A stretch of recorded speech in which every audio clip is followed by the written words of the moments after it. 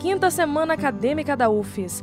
Autonomia, diálogo e integração na educação superior. A Semana Acadêmica e Cultural da UFES surgiu em 2013, com o objetivo de promover exposições interativas e transdisciplinares, através de congressos, seminários e mostras.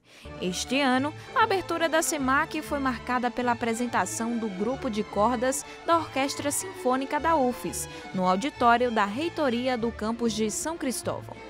25 músicos se apresentaram sob a regência de Felipe Anunciato.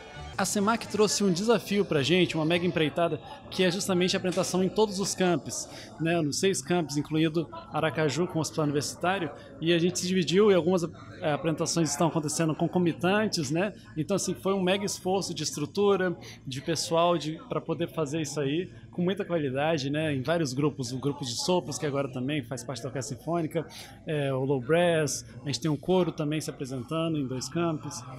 A Universidade Federal de Sergipe promove mais uma semana acadêmica e cultural, desta vez em sua quinta edição e com o tema Autonomia, Diálogo e Integração na Educação Superior. A professora Yara Campelo, vice-reitora da UFES, destacou a importância da SEMAC para a comunidade acadêmica.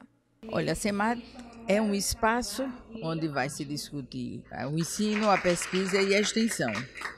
Então, ela é de extrema importância para a formação, não só pela apresentação e discussão dos trabalhos, mas pelo retorno que todos esses trabalhos podem dar ao curso.